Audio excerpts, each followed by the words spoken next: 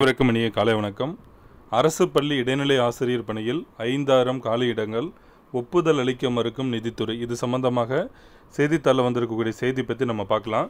நமக்கு ஏற்கனவே TRP annual பயணம் ரெண்டாயிரத்தி இருபத்தி மூணில் இடைநிலை ஆசிரியர் தேர்வுக்கு ஆறாயிரத்தி ஐநூறுக்கும் அதிகமான இடங்கள் இருப்பதாக சொல்லியிருந்தாங்க. ஆனால் தற்பொழுது ரெண்டாயிரத்தி இருபத்தி நாலில் இடைநிலை ஆசிரியர் தேர்விற்கான அறிவிப்பு வெளிவந்ததில் பார்த்தோன்னா நம்மளுக்கு ஆயிரத்தி எழுநூற்றி அறுபத்தெட்டு இடங்கள் மட்டும்தான் அதில் வந்து கொடுத்துருந்தாங்க.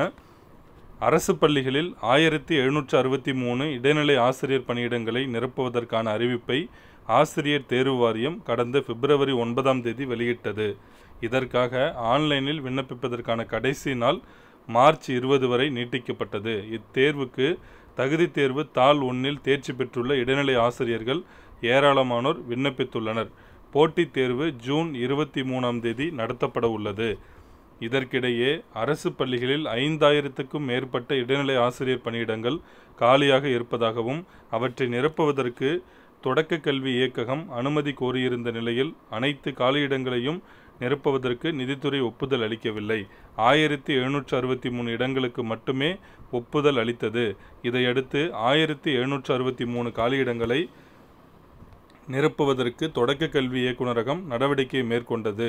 காலியாக உள்ள ஐந்தாயிரம் ஆசிரியர் பணியிடங்களை நிரப்ப அது தயாராக இருந்தும் நிதித்துறையின் ஒப்புதல் கிடைக்காமல் போனதால் அவற்றை முழுமையாக நிரப்ப முடியவில்லை. சமூக ஆர்வலர்கள் வலியுறுத்தல். அரசு தொடக்கப் பள்ளிகளில் சேரும் குழந்தைகளுக்கு தரமான அடிப்படை கல்வியறிவு கிடைக்க வேண்டுமானால் தேவையான இடைநிலை ஆசிரியர்கள் பணியில் இருக்க வேண்டும். கட்டாய கல்வி உரிமை சட்டத்தின்படி தொடக்கப் பள்ளிகளில் இருபத்தைந்து மாணவர்களுக்கும் நடுநிலைப் பள்ளிகளில் முப்பது மாணவர்களுக்கும் ஒரு ஆசிரியர் பணியமர்த்தப்பட வேண்டும்.